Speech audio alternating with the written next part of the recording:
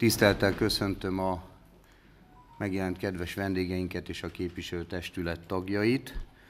Megállapítom, hogy 11 fővel határozatképes számban megjelentünk. Mielőtt a mai rendére térnénk, szeretnék elmondani néhány hírt napirend előtt. Az egyik talán legfontosabb, hogy az államreform operatív program keretében egy újabb uniós pályázatot nyertünk, szintén 100%-os támogatásban 20 millió forint összegben. A pályázat tárgya a civil partnerség, tehát helyi civil szervezeteknek lesznek továbbképzések, pályázati tanácsadások, információs napok, egyebek, és civil szervezetekkel partnerségben kell ezt a pályázatot megvalósítanunk. Én köszönöm mindenkinek, a pályázati tanácsadó kollégáimnak, illetve a polgármesteri hivatal munkatársainak, hogy ezt a, az uniós pályázatot is sikerült megnyernünk. Az Európai Unió tervezési ciklusa hamarosan lezárul, és 2014-től egy új tervezési ciklusba lépünk, úgyhogy még itt utoljára is sikerült némi forrást nyernünk. A másik fontos hír, hogy megfeszített munkával épül a csatornarendszer a Kerekhegyen. Eddig az időjárásra igazán nem lehetett panaszunk. A földben találtunk sziklát, kábeleket, egyebeket. Én mindenkitől türelmet kérek. Egyelőre úgy tűnik, hogy a pályázattal érintett rész, hisz itt ebben a csatornarendszerben a rendszer nagyobbik része pályázatilag támogatott, kisebbik része saját erős fejlesztés. Úgy tűnik, hogy a pályázattal támogatott rész várhatóan határidőre elkészül, addig is azonban még nagyon sok munka lesz, és nagyon sok kellemetlenség. Még egyszer kérem az ott élők türelmét. Mint ismeretes, november 30-ával a Zaubermacher Bicske Kft felmondta Solymár kommunális hulladékszállítási szerződését.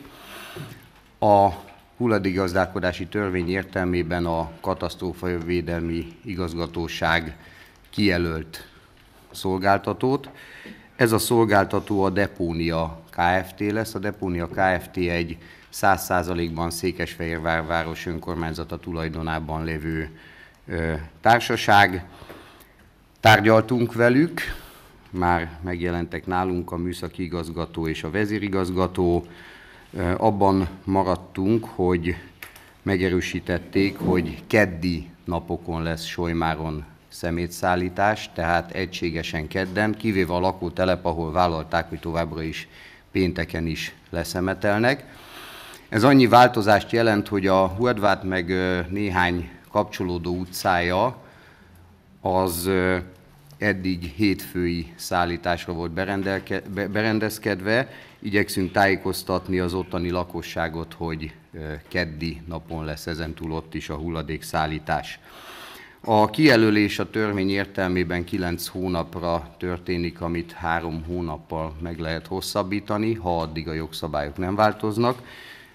Viszont abban az esetben, hogyha jogerős közbeszerzés lefolyik, akkor új szolgáltató fog belépni erre a piacra itt nálunk. Ami nagyon fontos, hogy a díjtételek azok továbbra is a rezsicsökkentett díjtételek lesznek, tehát a közcsat Kft. ugyanazt a díjat fogja kiszámol, kiszámlázni a továbbiakban is, mint ami a rezsicsökkentésre érvényes volt. Sikerült azt is elérnünk tárgyalásaink során, hogy bár a katasztrófavédelem kijelölése erre nem vonatkozott, de a az utolsó szelektív gyűjtést is megoldja a cég, tehát a házhoz menő szelektív gyűjtést. Ehhez kapcsolódik az is, hogy bár mire adásba kerülünk, talán ez már múlt idő lesz, de a holnapi napon, november 28-án csütörtökön kezdjük meg, már bizonyos helyeken megkezdtük, az ingyenes zöld hulladék, évvégi szokásos ingyenes zöld hulladék begyűjtést. Tehát kérünk mindenkit, hogy csütörtökig, azaz holnapig, november 28-áig helyezze ki háza elé zsákolva a lombhulladékot, vagy kötegelve, összekötve a gaj jellegű hulladékokat. Ezeket a szakembereink el fogják szállítani, ez talán, ha sikerül és olyan lesz az időjárás, akkor első adventre meg is fog történni az egész faluban.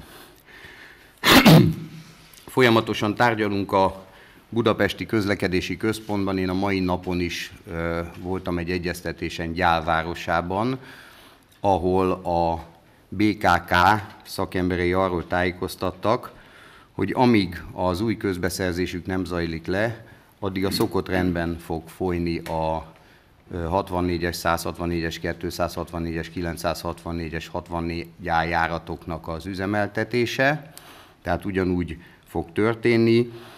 A közbeszerzésben ö, új buszokkal történik egy új szolgáltató kiválasztásával a további, ö, a további szolgáltatás. Ennek a legvégső dátuma 2014. június 30, tehát 2014. június 30-ra legkésőbb ennek eredménye kell, hogy legyen, de várhatóan ez megtörténik márciusra. Ebben az esetben tehát új szolgáltató, ha jól tudom, három cég vette ki a BKK-tól ezt a tendercsomagot, új szolgáltató fogja a buszokat üzemeltetni, de ez a lakosság számára semmiféle változást nem jelent, tehát független attól, hogy ki a szolgáltató, ugyanezek a buszok fognak járni. Ehhez tartozik még, hogy Szegi Krisztina képviselőasszony kezdeményezésére egy tárgyalást folytatunk holnap a Budapesti Közlekedési Központban, ahol ott lesz Vitézi Dávid vezérigazgató úr és Láng Zsolt második kerületi polgármester. A BKK álláspontja szerint egyetlen akadálya van a Kerekhegyi 157-es járat megindításának, hogy a második kerülete ehhez járuljon hozzá. A, amennyiben hozzájárul, várhatóan midi buszokkal, tehát ilyen kisebb méretű buszokkal megindulhat a szolgáltatás, de én már semmit nem merek mondani, hogy mikortól, ez további tárgyalásoktól függ. Nagyjából ennyit szerettem volna elmondani. Kérdezem, hogy napirend után kérdést ki kíván feltenni, kérem jelentkezzen. Szegi Krisztina, Ordódi György, Tordai Miklós, Köszönöm, kikapcsolhatjátok. Tehát akkor napirend után ezek a kérdések lesznek. Megkérdezem, hogy napirend előtt kíván-e valaki hozzászólni még? Nem. Köszönöm szépen. Bocsánat, Marlókné Cservenyi Magdolna, Enenő.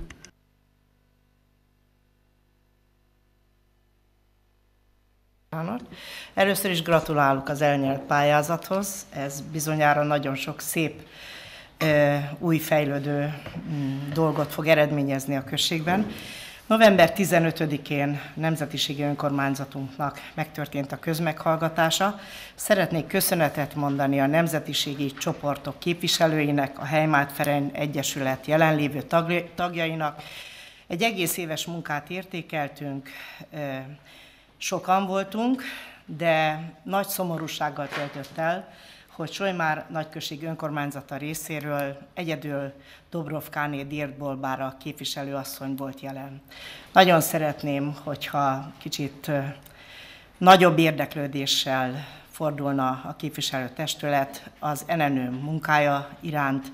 Egy nagyon eredményes évet éltünk meg, büszkék vagyunk rá. Köszönöm szépen! Köszönöm szépen, én elnézést kérek, én családi okokból nem tudtam részt venni ezen a közmeghallgatáson. Akkor térünk mai ülésünk napirendjére, nem kevés az előttünk lévő munka, 19 ki. Lőrinc Beáta, parancsolj. Köszönöm, én napirendhez szeretnék annyit, hogy a hatos pontban szereplő Csepürágó Színjátszó Stúdió kérelmét én szeretném hátrébb vinni a sorban a 14. pont elé, mert hogy két azonos természetű kérelemről van szó, azt gondolom, hogy megkönnyítjük a erről szóló beszélgetést, hogyha egymás mellett tárgyaljuk őket. Köszönöm szépen. Tehát a napirend módosítás lényege, hogy a 166 per 2013-as számú előterjesztést a 173-as után tárgyaljuk. Erről szavaznunk kell, most lehet szavazni.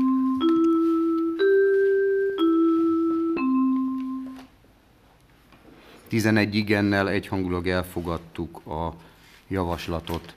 Egyéb javaslat a mai ülés napirendjéhez? Amennyiben nincs, akkor a mai nyilvános ülés napirendjének végszavazása következik. Most lehet szavazni.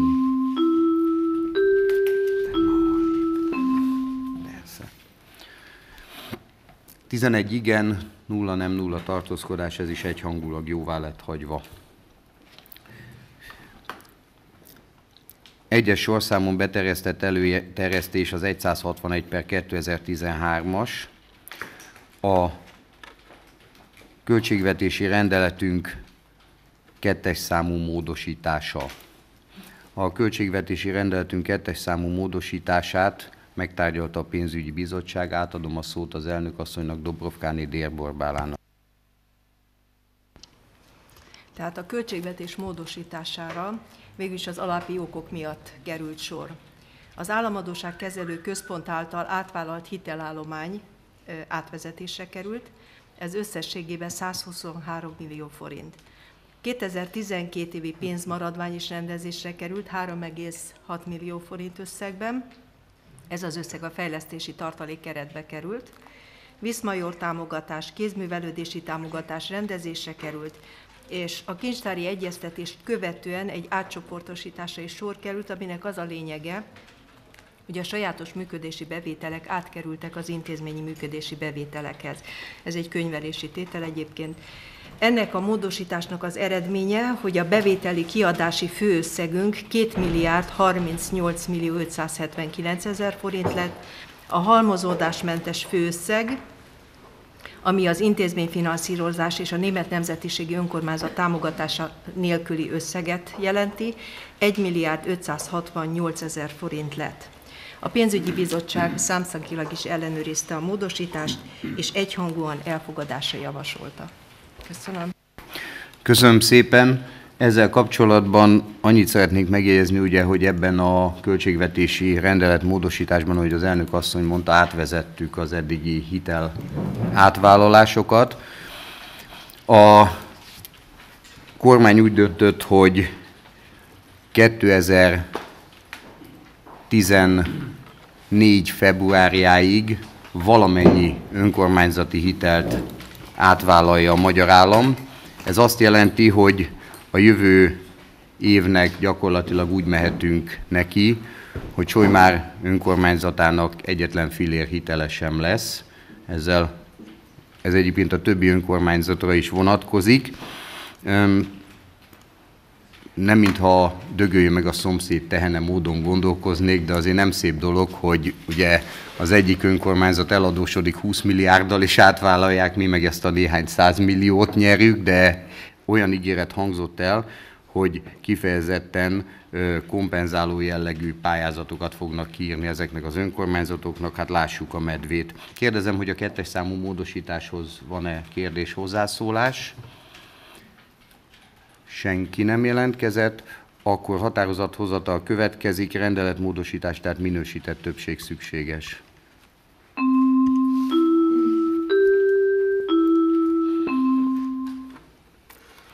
11 igen, egyhangú szavazással jóváhagyta a rendelet módosítást a képviselőtestület.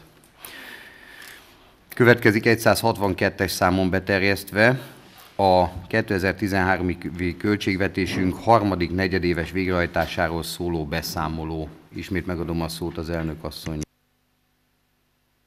A, három, a harmadik negyedéves beszámolóval kapcsolatban a pénzügyi bizottságnak tudomásul vételi kötelezettsége van. Az önkormányzat háromnegyedéves gazdálkodása kiegyensúlyozottnak tekinthető, hiszen a bevételek 85%-ban, a kiadások 73%-ban teljesültek. Ezen belül a működési bevételek 1 milliárd 626 millió forint kellő fedezetet nyújtanak a működési kiadások teljesítésére, a működési kiadások 1 milliárd 187 millió forint. Az intézmények kiadásaik mértékének megfelelő, megfelelően kerültek finanszírozásra, működési célú pénzeszköz átadások 77%-ban teljesültek, felhalmozási célú kiadások 83%-ban. Az önkormányzat a harmadik negyedév végén az alábbi tartalékokkal rendelkezett még. Általános tartalék 3 millió 255 ezer forint, működési céltartalék 36 millió, felhalmozási céltartalék 56 millió forint. Az intézményeink hasonlóan teljesítettek, az azt jelenti, hogy a bevételek 71% és 75% között mozogtak, itt nem mondom el az egyes intézményeket, a kiadások pedig 69 és 72% között mozogtak. Ami még érdekes a beszámolóval kapcsolatban, a felhalmozási kiadások alakulása, az mindig mindenkit jobban érdekel. 83%-ban teljesültek, itt szabályozási terv volt tervezve, ez 94%-ban teljesült.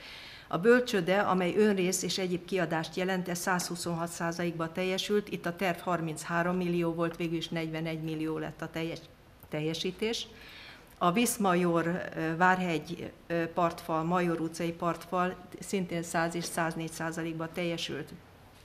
A kis lemaradásnak oka a Kerehegyi csatorna, mert ugyanis azt elég későn kezdtük el. A pénzügyi bizottság végül is részletesen végignézte a beszámolót, számszakilag is ellenőrizte, és egyhangulag elfogadásra javasolta. Köszönöm. Köszönöm szépen. A képviselőtestületnek hasonló típusú határozatot kell hoznia, hogy tudomásul veszi ezt a beszámolót. Van esetleg kérdés hozzászólása jelentéshez? Amennyiben nincs határozathozatal következik.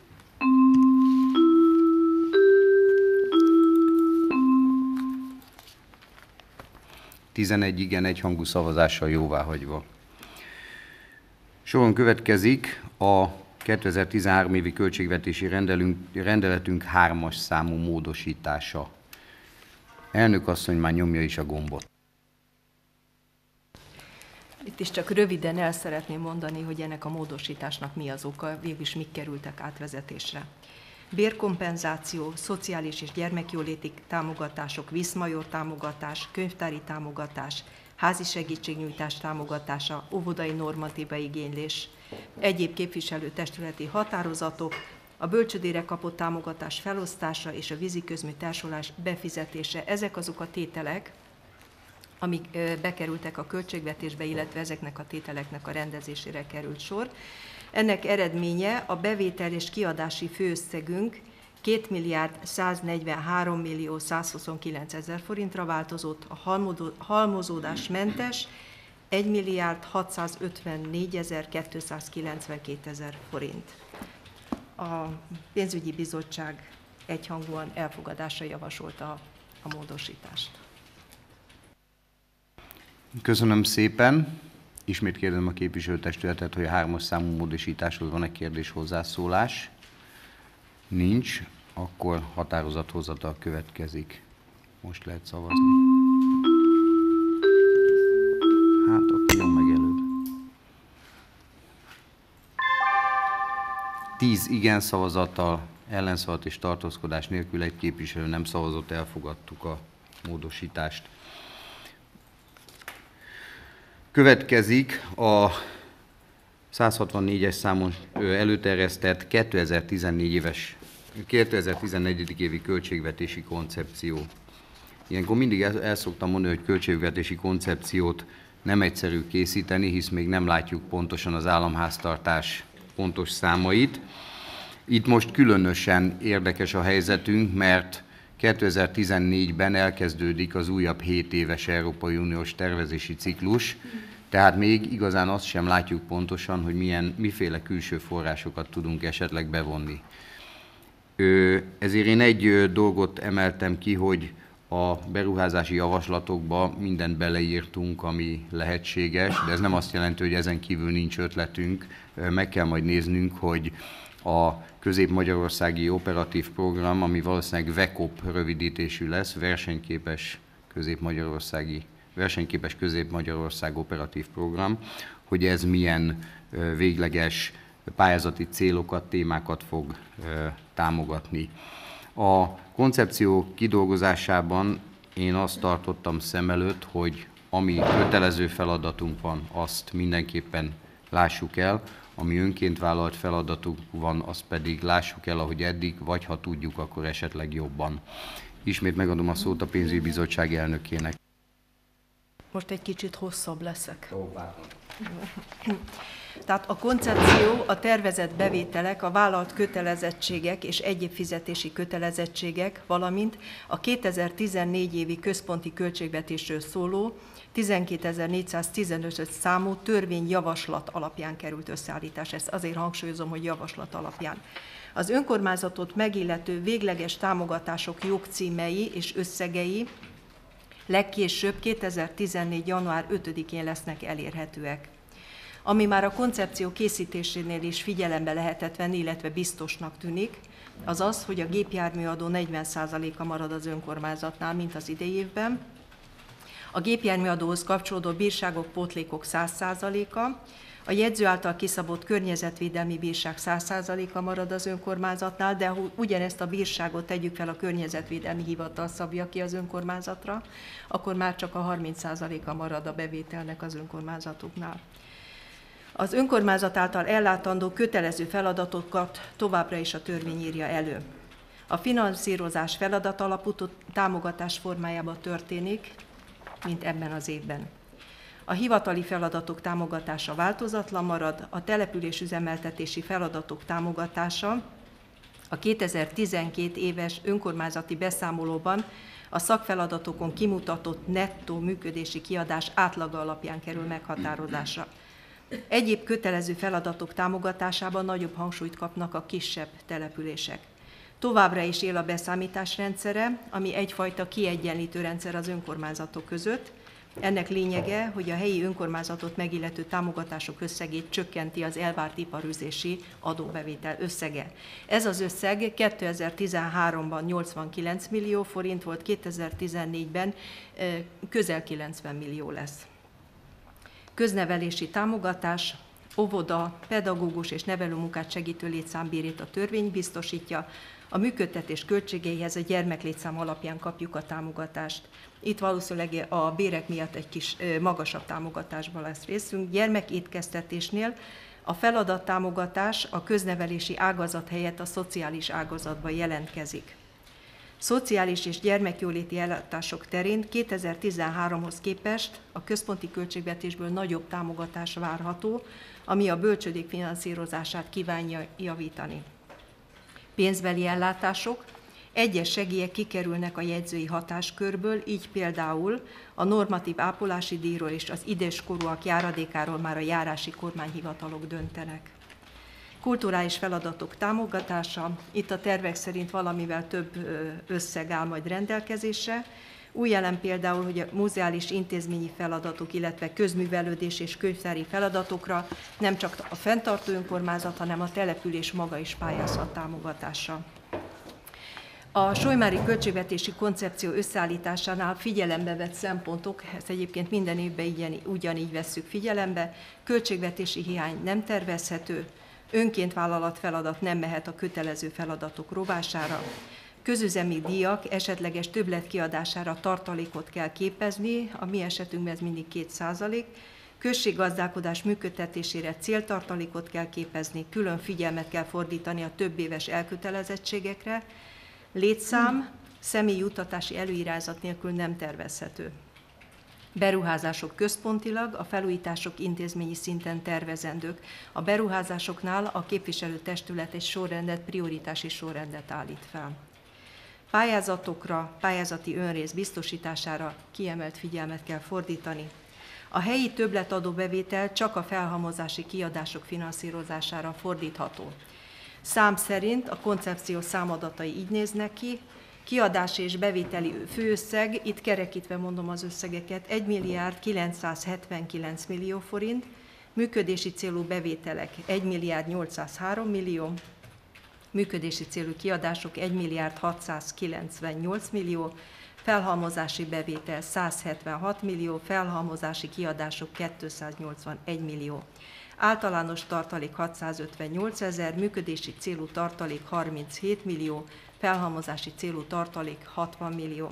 Az említett számok végülis a 2013-as évi tényadatokon alapulnak, és nagyon picivel térnek eltőre. Az új helyi, új helyi adónem bevezetésére illetve az adókedvezmények szűkítésére a koncepció nem tesz javaslatot.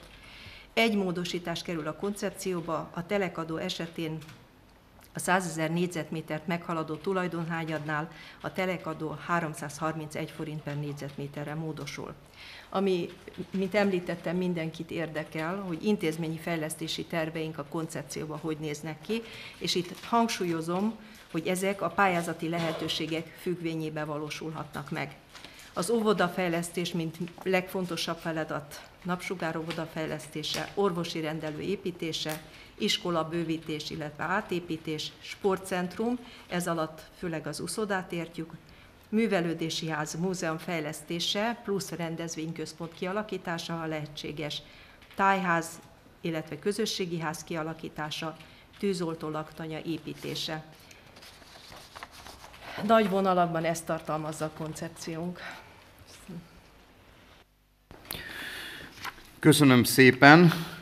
Ugye említettem, hogy azt nem tudjuk, hogy milyen uniós pályázatok lesznek, és ugye a forrásaink nagy része, hisz ezek társfinanszírozott programok, az uniós pályázati támogatás az azt jelenti, hogy annak egy része a magyar államtól származik. Mivel nem tudjuk ezt pontosan, ezért valóban olyan sorrendiséget nem tudunk megállapítani, hogy mit fogunk először megcsinálni, meglátjuk, hogy fogják a pályázatokat kiírni. Én egy dolgot szeretnék elmondani, ami a televízió nézőknek is, hogy ez mindenki számára világos legyen. Amikor a kormányzat úgy döntött, hogy átvállalja a települések adósságát, az nem volt ingyen, annak az volt a feltétele, hogy innentől kezdve hitelt felvenni, kötvényt kibocsájtani nem lehet.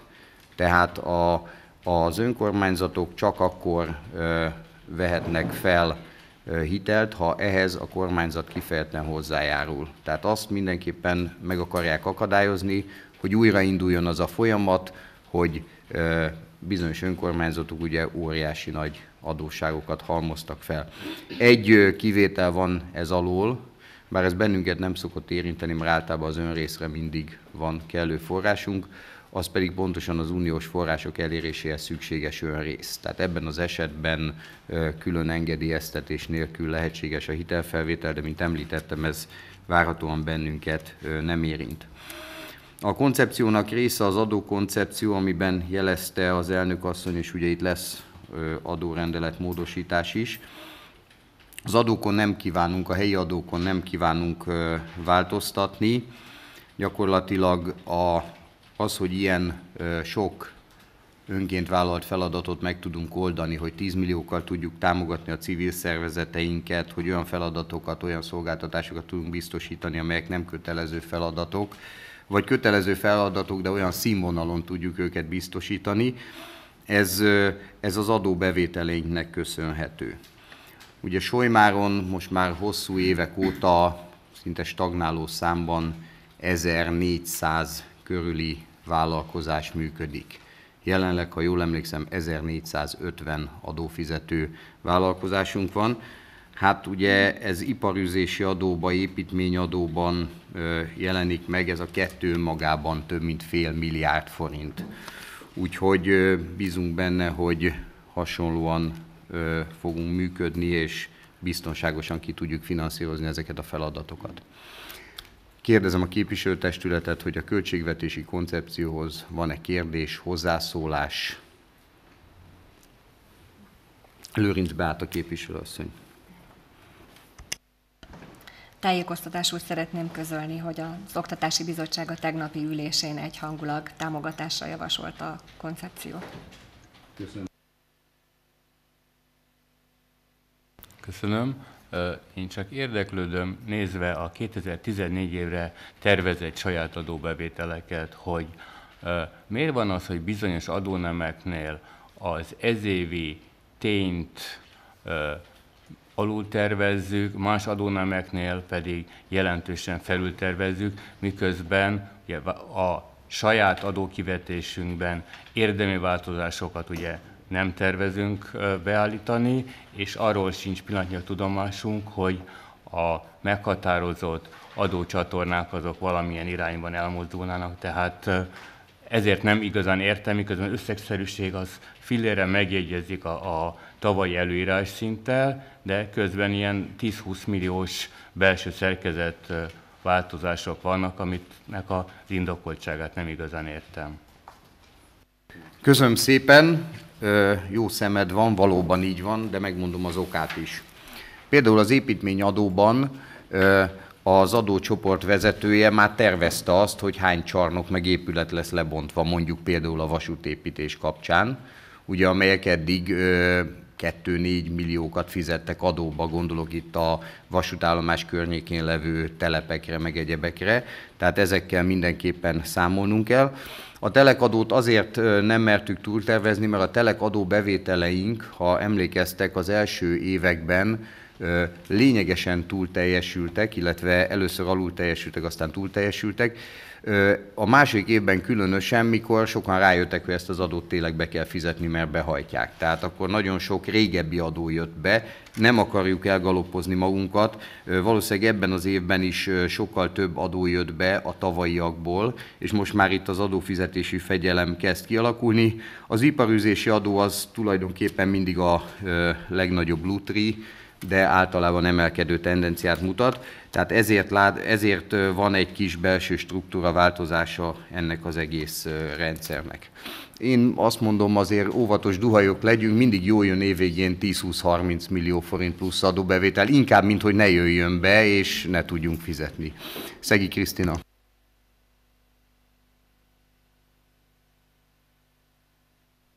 Köszönöm.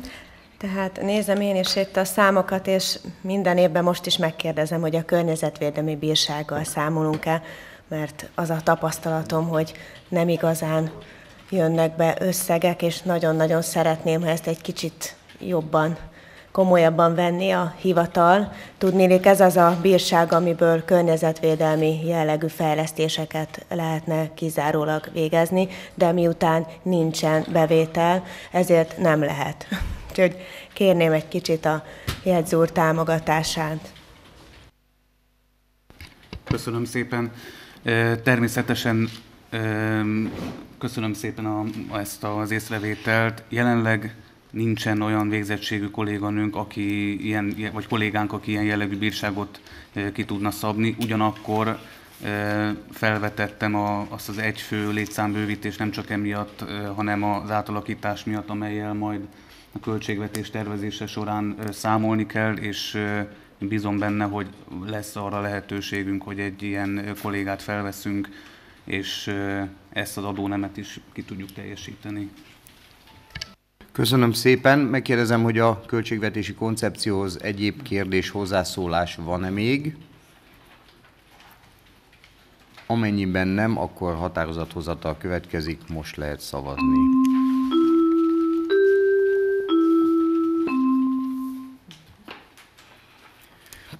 11 igennel, egyhangú szavazással jóvá hagytuk a költségvetési koncepciót.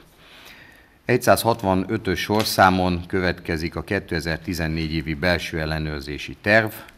A belső ellenőrzésről nekem mindig a magyar nyelv legszebb kifejezése jut eszembe, az, hogy jegyzői hatáskör. Parancsolj! Köszönöm szépen. A költségvetési szervek belső kontrollrendszeréről és a belső ellenőrzésről szóló kormányrendelet alapján e, idén is felmértük, illetve elvégeztük a 2011. évre vonatkozó e, belső ellenőrzési tervnek a, az előkészítését, és a, a, az előkészítés során ugye több olyan fókuszpont volt, amelyre különös hangsúlyt kívánunk a következő évben helyezni.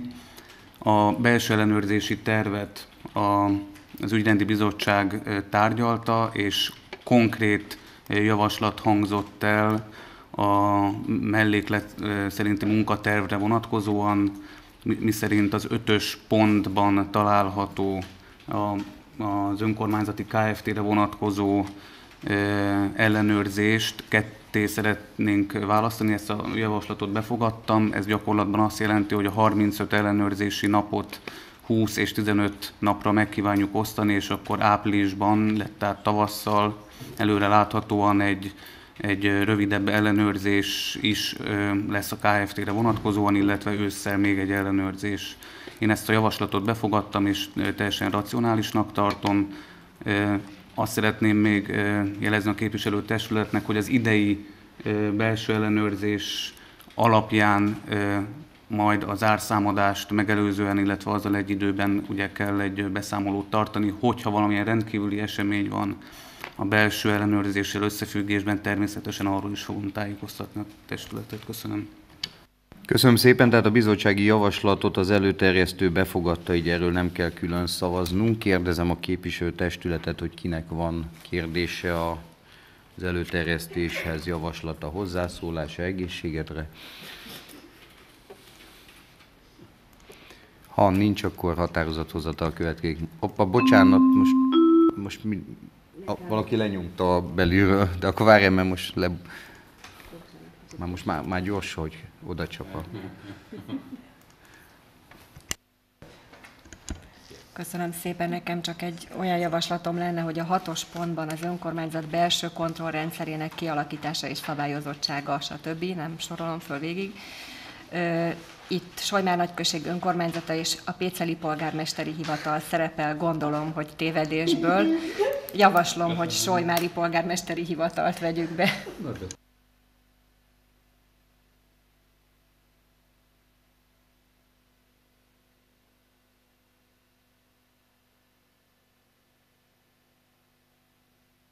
Copy-paste. Köszönöm szépen legalább látszik, hogy a képviselők elolvassák az előterjesztéseket, bár aki ezt megtette a költségvetés módosítással, mint a pénzügyi bizottság 600 ezer táblájával, annak külön gratulálok. Ö, akkor ezt természetesen sajtóhiba javítjuk. Egyszer már került itt határozat pár évvel ezelőtt, egy olyan négy-öt évvel ezelőtt, amiben azt hiszem 17. kerületi önkormányzat volt. Kérdezem tehát akkor most lehet szavazni.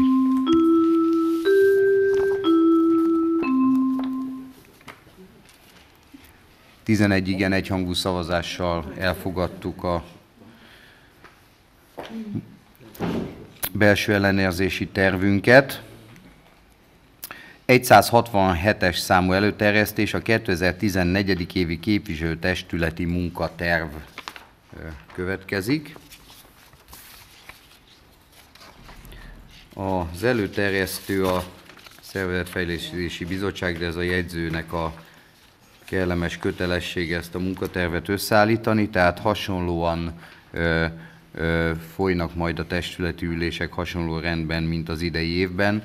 Ezeket általában mindig egyeztetjük ünnepnapokkal, egyebekkel, vagy a felmerülő feladatokkal, jegyző úr. Köszönöm szépen.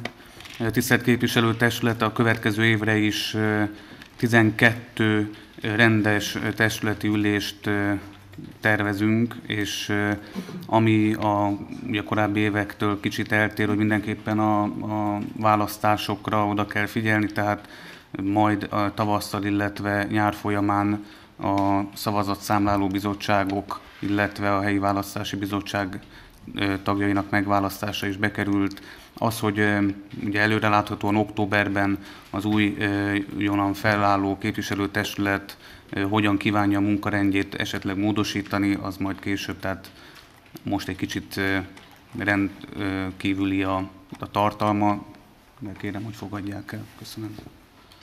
Köszönöm szépen. Munkatervhez kérdés, hozzászólás nincs. Határozathozatal következik.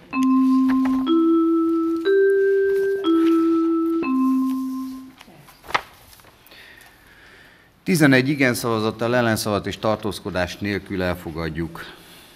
Köszönöm szépen. Soron következik a telekadóról szóló 19 per 2010-es helyi rendeletünk módosítása. Ez egy technikai jellegű módosítás, gyakorlatilag a Solymári 1500 négyzetméternél kisebb területet birtokló telek tulajdonosok továbbra is adómentesek, tehát ebben az adókban nem történik változás. Itt a bányatelkek meg egyebek kezelésében kell egy módosítást tennünk. Kérdezem a testetet, hogy a telekadó rendelethez van-e kérdése, hozzászólása? Amennyiben nincs, akkor határozathozatal következik. Sőt, rendeletmódosítás minősített többség. 11 igen, ellenszavazat és tartózkodás nélkül jóvá hagytuk. Következik 169-es számon az Ezüstkor Szociális Gondozó Központ fenntartása. Itt ugye az a helyzet, hogy az Ezüstkor Szociális Gondozó Központunk egy feladat ellátási szerződéssel Nagykovácsit is ellátja, és a szerződés a közeljövőben, vagy már le is jár? Nem, évvégén jár le, ugye? Tehát a szerződésünk lassan lejár. Nagykovácsival való tárgyalásaink során arra jutottunk, hogy a Nagykovácsi képviselőtestület, polgármester asszony és az illetékesek maximálisan elégedettek azzal a szolgáltatással, amit az Ezüstkor Szociális Gondozó Központ nyújt. A finanszírozásban jelentős változások vannak azonban, ez azt jelenti, hogy a finanszírozás drágább lett normatíva változások miatt, mint ami eredetileg tervezett volt. Nagykovácsi úgy nyilatkozott, hogy ezt a különbséget ő a szerződés értelmében kifizeti, tehát állja ezt a különbséget, és úgy kívánunk szerződni a jövő évre, jövő év végéig, hogy szintén az egész év során keletkező ilyen különbségeket Nagykovácsi kifizeti Solymár számára, amennyiben keletkeznek ilyen különbségek. Kérdezem a képviselőtestületet, hozzászólás, kérdés van-e? Nincs, minden tiszta és világos, szavazzunk.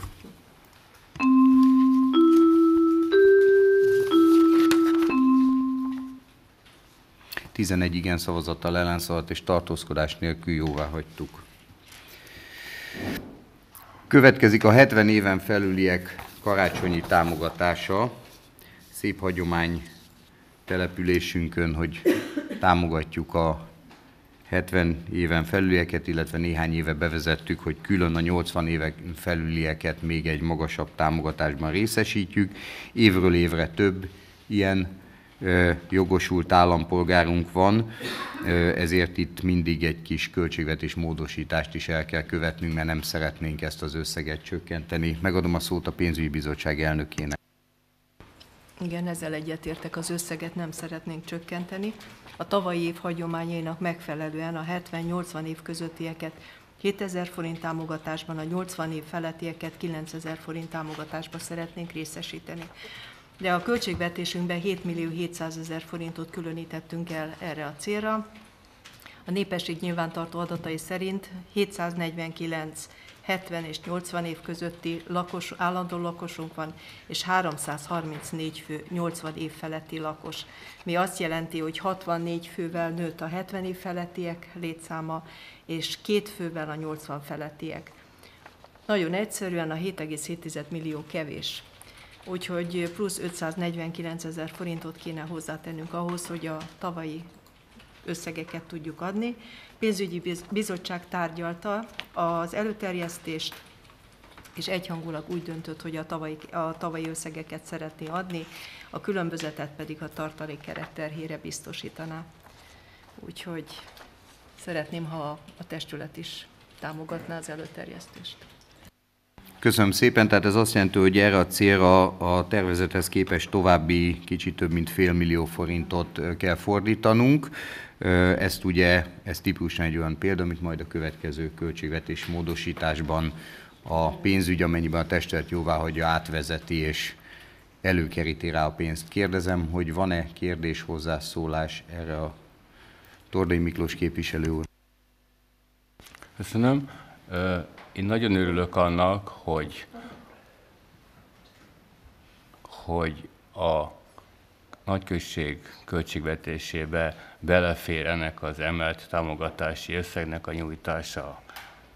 De minden évben ilyenkor erősen elgondolkozom azon, hogy okos dolog-e így úgymond fűnyíró elvszerűen adni egy támogatást, és én arra kérem a hivatalt, hogy vizsgálja meg annak a lehetőséget, hogy valamilyen módon jövedelemhez, és itt azért viszonylag egyszerű talán, vagy egyszerűbb a feladat, mert itt a jövedelem az nyilvánvalóan nyugdíjat jelent. Tehát valamilyen módon a nyugdíj kategóriákhoz, vagy a nyugdíj kifizetésekhez igazítva, de egy olyan típusú támogatást adni, ami azoknál, ahol kifejezetten magas nyugdíjak vannak, relatíve alacsonyabb a támogatási összeg, a kis nyugdíjasok esetében, ahol sokkal nagyobb ennek a szükséglete, ott pedig még ennél is magasabb összeget ö, tudnánk a jövőben megszavazni. Nagyon kérem, mert sokkal ö, hasznosabbá tudna válni ezen keresztül ez a támogatás. Természetesen ezzel együtt ezzel az észrevétel együtt én meg fogom szavazni ezt a támogatást, de szeretném, hogyha ezt sokkal szelektívebben tudnánk nyújtani a jövőben. Köszönöm. Köszönöm, miért megadom a szót a jegyző. Azt szeretném ezzel kapcsolatban mondani, hogy igen, ez jogos, ez mindig egy nehéz kérdés, hogy mi az a rászorultsági alap, meg ki az, aki nek szüksége van erre a pénzre, és ki az, aki nem. A nyugdíj jövedel, tehát ugye vannak a jövedelmi viszonyok, meg vannak a, a vagyoni viszonyok. Tehát ugye mikor egy szociális támogatási igényről van szó, akkor akkor ugye ezeket folyamatosan vizsgálja a hivatal, ebben az esetben nem vizsgálja, tehát ez életkorapon megy, ebben neked teljesen igazad van. Ezen lehet gondolkozni, ezt megvizsgálhatja a hivatal, tehet erre egy javaslatot, azt a testület majd el is fogadhatja, már a következő képviselőtestület leckéje lesz, erről majd jövő november végén, december elején szavazni. Jegyző Ja, az 1083-as szám az egy elég kerek évforduló a magyar történelemben. Pont ennyi nyugdíjasnak a vagyoni helyzetét kellene megvizsgálnunk.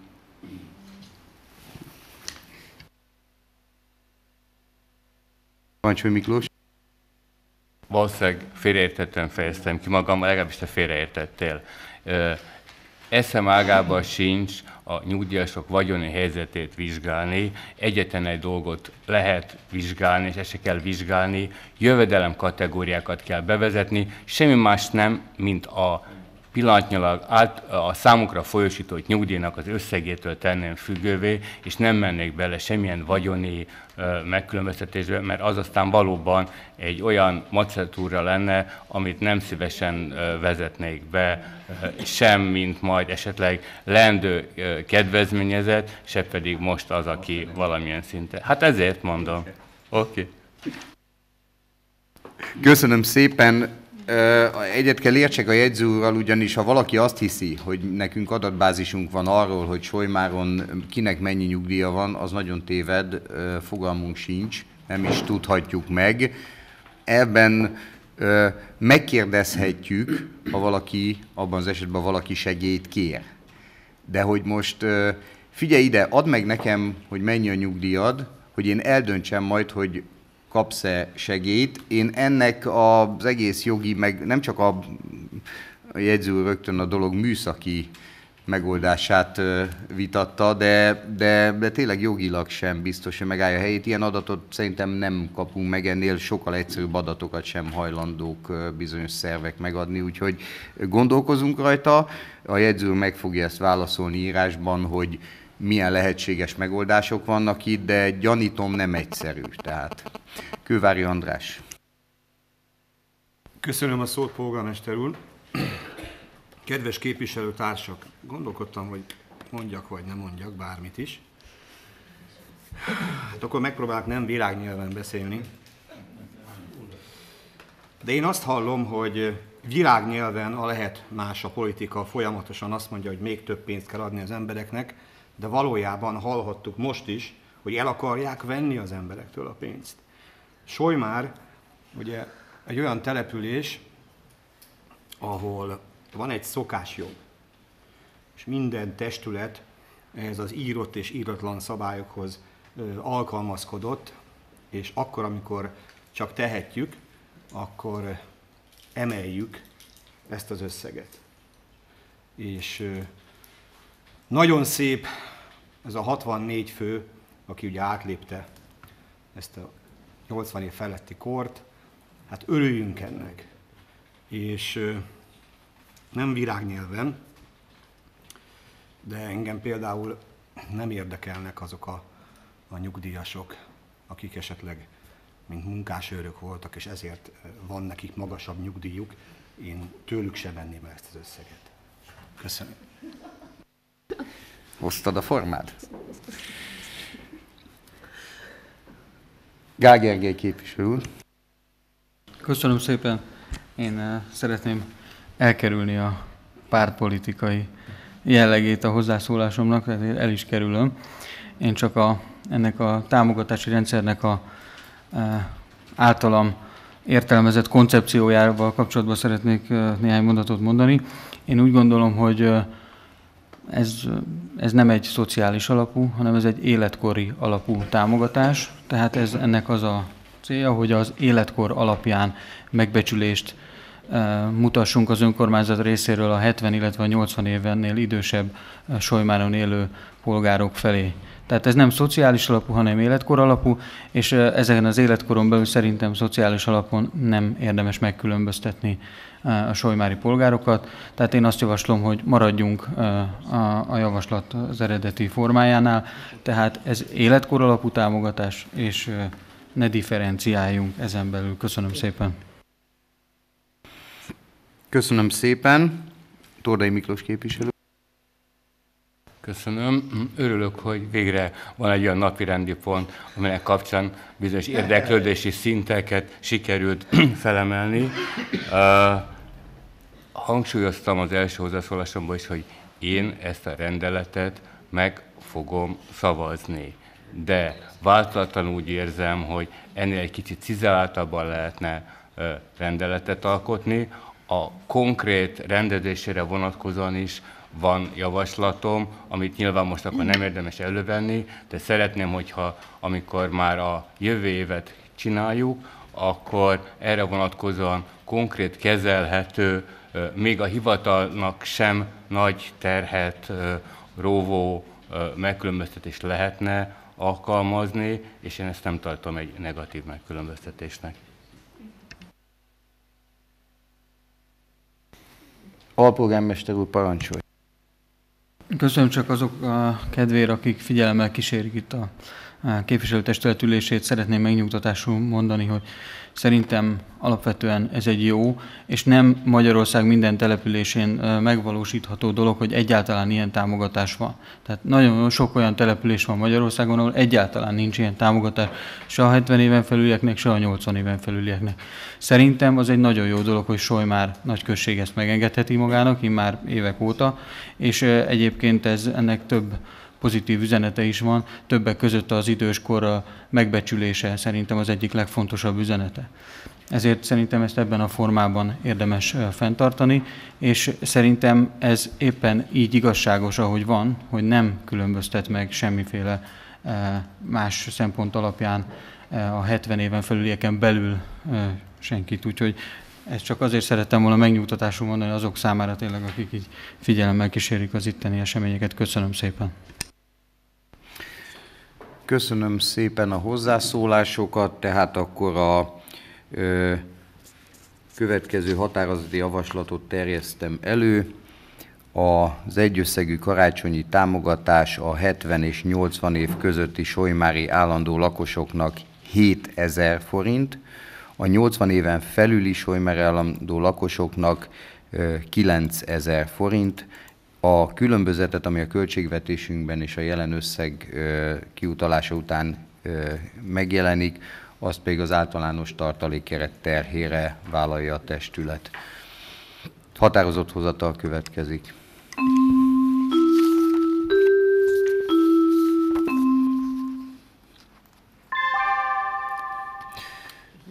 Egy érintett nem szavazott. 10 igen szavazattal, nulla nem, nulla tartózkodással, egy képviselő nem szavazott, elfogadtuk a határozati javaslatot. Következik a karácsonyi ajándékcsomagról szóló határozat, ez is egy régi hagyomány. Az elmúlt évek gyakorlata szerint karácsonyi csomagot, ajándékcsomagot, illetve ajándékutalványt kapnak a leginkább rászorulók. Ez rászorultsági alapon lesz Ez 20 darab és 20 ezer forint értékű karácsonyi ajándékcsomagot jelent, szintén a megelőző évek hagyományi, hagyományai szerint, és a szociális gondozó központunk vállalja ennek a koordinálását, hisz nekik viszont van adatuk arról, hogy kik azok a családok, akik komolyabban nélkülöznek. Kérdezem a képviselőtestetet hozzászólás kérdés van-e? Lőrinc Beáta.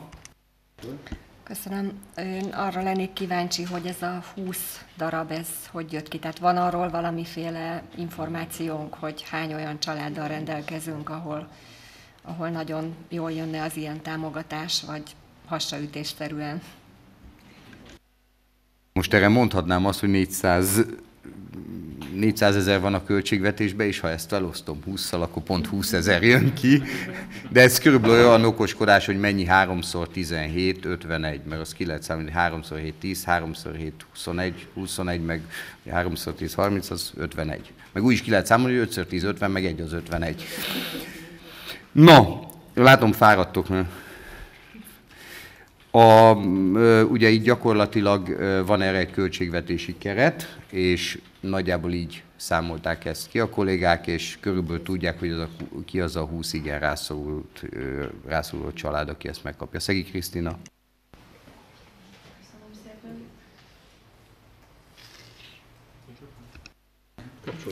Eddig nem tudtam megnyomni. Na, nekem is hasonló kérdésem lenne ezzel kapcsolatban. Tavaly is megkérdeztem, emlékszem, de azóta sem kaptam választ, hogy mi alapján lett ez összeválogatva. Tehát itt, ha jól értelmezem, lehet, hogy valaki 70 év fölött és megkapja ezt a 9000 forintot, és még ez alapján, valami alapján rászoruló, és még megkapja ezt a 20 ezer forintot is, illetve ennek értékében ugye ajándékcsomagot. Tehát nekem az a furcsa, mert itt a szociális helyzetet nézve simán lehetnek változások egyik évről a másikra.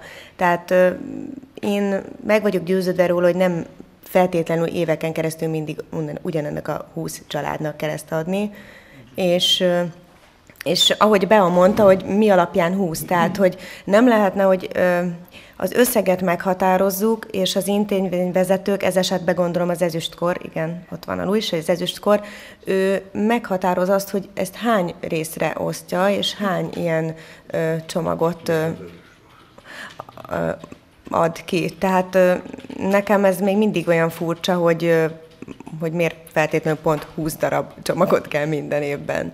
Hogy ez nem lehetne egy kicsit rugalmasabban kezelni esetleg. Mindent lehet. Költségvetési vitában tessék a keretre javaslatot tenni, vagy egyebekre. Most ugye itt ez a gyakorlat most már hosszú ideje, az ugye itt ez elsősorban családokat támogat, tehát, tehát elsősorban rászoruló családokat, ugye a az intézmény vezetők, akik ugye kapcsolatban állnak, főleg a gyermekes családokkal, azok tesznek javaslatot, és a szociális feladatokat ellátó kollégák oldják meg ezt a magát a feladatnak a gyakorlati részét. Tehát ez egy nagyon fontos dolog. Ha a képviselőtestület azt mondja, hogy a jövő évű költségvetésbe egy milliót tesz erre, vagy bár, bármit mondhat, az azért egy kicsit nehéz, hogy akkor most a, az adott intézményvezető most azon is labdázol, hogy ennek 12 ezer, ennek meg 28 ezer forint értékű mm, élelmiszercsomagot adok. Én ezt mm, nem, nem, nem tartanám szerencsésnek. Tehát én mindig azt mondom, hogy figyeljünk mindig arra a döntéshozatalunk során, hogy azt a döntést valakinek végre is kell hajtani. Kővári András. Köszönöm a szót, polgármester úr. Három kérdésem lenne, nem folyamatosan fogom megkérdezni, hanem a válaszok ismeretében. A első kérdésem, hogy lenne több rászoruló család vagy személy? Van erre adatunk? Adatunk van, de ez természetesen nem nyilvános adat. Solymának van egy szociális térképe is például a gondozóközpontban, ahol látható, hogy hol vannak azok a területek, ahol például koncentrálódva, jelentkeznek ilyen problémák. Tehát ismerik, tehát az intézményvezetők ismerik a helyzetet, a gondozóközpont ismeri a helyzetet, erre ennyit tudok mondani. A kettes kérdésünk, tehát én két képviselő társnőmmel szemmel azt mondom, hogy nem azt mondom, hogy miért, hanem azt mondom, hogy miért ne. És sejtettem, hogy ezt a választ fogom kapni, hogy lennének még ilyen családok, illetve személyek. És akkor most jön a harmadik kérdés, hogy a képviselői tiszteletdíjamat én szeretném erre a célra felajánlani az egész éveset. Lehetséges ez? Köszönöm. A, amennyiben a jövő évi költségvetésben te egy ilyen módosító javaslatot teszel, hogy az önkormányzat, nem ez polgármesteri hivatal soron van, ugye a képviselői tiszteletdíj, a polgármesteri soron szereplő tiszteletdíjadat tegyük át erre a keretre, ennek a költségvetési vitában ö, semmi akadálya nincs. Még egyre szeretném felhívni a figyelmeket, ez, figyelmeteket, ez ugyan nem a ö, határozati javaslatban, hanem az előterjesztésben szerepel, hogy itt olyan családokról van szó, akik nem részesülnek rendszeres segélyezésben. Tehát ez fontos. Ordódi György. Ha pillanatnyilag nem lehet másképp segíteni, szerintem is nyilván több család van, aki rászorul erre, tárgyaljuk meg azt, hogy a testület, illetve aki akar segíteni, milyen módon gyűjthet, hol lehet ezt átvenni, és milyen jellegű dolgok azok, amik esetleg szükségesek. Nem tudom pontosan mi van a csomagba, de én is szívesen támogatnám, és nem jövőre, hanem idén. Köszönöm.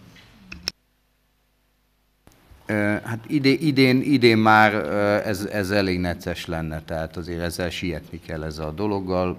Mindenféle javaslatot én azt javaslom, annak a forrását is akkor a jövő évi költségvetésben határozzuk meg. Én még egyszer mondom, ezeket a feladatokat végre is kell hajtani. Szegi Krisztina. Köszönöm, én csak pontosítani szeretnék valamit, lehet, hogy félreértett a polgármester úr. Én nem a ö, 400 ezer forintot bíráltam, tehát nem az összege a problémám, hanem nem értem, lehet, hogy azért, mert ilyen kicsi az agyam, de hogy miért kell nekünk ezt így meghatározni, hogy már pedig 20 darab, 20 ezer forint értékű ajándékcsomagot lehet, és se többet, se kevesebbet. Tehát, hogy miért nem adjuk meg azt a szabadságot úgymondva az intézményvezetőknek, hogy ebben az összegben ők döntsék el, hogy hány rászorulót támogatnak, és milyen összegben. Kérdezem az intézményvezetőket, szeretnék ezt? Hú, de rázzák a fejüket. Akkor ezt megbeszéltük Lőrinc Beáta. Én is csak pontosítani szeretném Kövári András képviselőtársam által elhangzottakat. Én nem sokallom, és nem szeretném csökkenteni ezt a támogatást. Éppen ellenkezőleg én úgy érzem, hogy tízezres településen ez a 20 darab, ez talán kevésnek bizonyul, úgyhogy javaslom, hogy a költségvetés tárgyalásakor gondoljunk majd erre. Köszönöm szépen, Takácsné Nagy ezt. Meg úgy gondolom, hogy egyébként ezeken a dolgokon nem csak ennél az asztalnál lehet segíteni, és úgy érzem, hogy nagyon sok lépést tettünk annak érdekében, hogy még ezeket a dolgokat kiegészítsük. Az egy dolog, hogy nem csináltunk belőle ö, reklámot, de felkerestünk nagy cégeket itt Solymáron, akik jelezték, hogy adjuk le az olyan rászorult családoknak a listáját, akiket ők meg tudnák lepni karácsonykor egy ilyen csomaggal. Ilyen listát készített a hivatalnak a szociális osztálya, ez meg is történt. Most itt reklám szinte nem szeretném mondani, hogy kik azok a cégek. Egyébként karácsonykor nem csak ez a 20 rászoruló család fog kapni, hanem jóval-jóval több. Tehát rajtunk kívül is segítenek. Köszönöm. Köszönöm szépen. Úgy látom, ezt is kellőképpen kiveséztük. További javaslatot, módosító javaslatot nem látok. Az eredeti határozatot teszem fel szavazásra. Most lehet szavazni.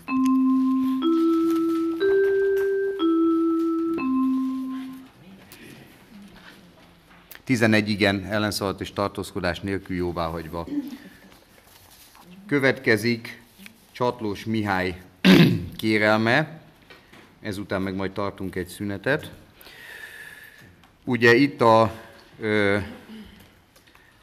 következőről van szó, nem én vagyok az előteresztő, hanem a Településfejlesztési Vagyongazdálkodás és Műszaki Bizottság elnöke, de ő nem tudott részt venni a mai ö, testületi ülésen. A helyzet a következő. Bizonyára sokan tudják, de sokan nem ezért újra elismételjük. Solymáron állami közutak haladnak át. Ezek az állami közutak egy helyrajzi számon vannak, tehát mikor például valaki átmegy ezen a pici parkon itt a buszmegállónál a polgármesteri hivatal előtt, akkor ő a magyar állam területén van, egy állami területen, a posta kerítésétől a Lustigecverge faláig, faltól falig, ez egy állami terület, amin van fizikailag egy állami közút. Itt is egy, van több helyen ilyen furcsa helyzet, hogy emellett, hogy az állami közút mellett léteznek szervízutak. Olyan utak, amelyek párhuzamosak az állami közúttal, és fölle csatlakoznak arra. Ez egy megint egy ilyen ezer éves megörökölt probléma a múltból. Ilyen például mondjuk a Mátyás utcában a Suzuki-nel levő szervízútot, ami viszonylag magasan megy, és ilyen a Tersánszki út szervíz útja is. Ahhoz, ugye mivel a Magyar Közút, tehát a Magyar Közút Nonprofit ZRT ezeket az utakat, bár azon a helyrajzi számon van, de nem a közút, és ő csak közutat kezel az úttörvény értelmében, ezért tulajdonképpen senki nem foglalkozik vele. Igen ám, de az ilyen út az Solymás számára idegen terület, tehát ha mondjuk mi egy ilyen útra beruháznánk, az körülbelül olyan lenne, mintha a saját magán udvarunkat aszfaltoznánk le. Ezért a bizottság azt javasolja, hogy első lépésben játsszuk le a, az összes illetékessel, hogy leválasszuk ezt a helyrajzi számot a, az állami területről. Ehhez kell első körben a Magyar Nemzeti Vagyonkezelő ZRT-nek a hozzájárulása, hisz ő kezeli az állami vagyont, illetve kell a közútkezelőnek is a szakmai hozzájárulása, az valószínűleg meg fog történni. A bizottság arra tett javaslatot, hogy támogatja ezt a kérelmet, és kezdeményezi a Tersánszki út szerviz útjának külön helyrajzi számon történő kialakítását, és kezdeményezi az önkormányzati tulajdonba vételt. Kérdezem, van-e hozzászólás? Amennyiben nincs, határozathozatal következik.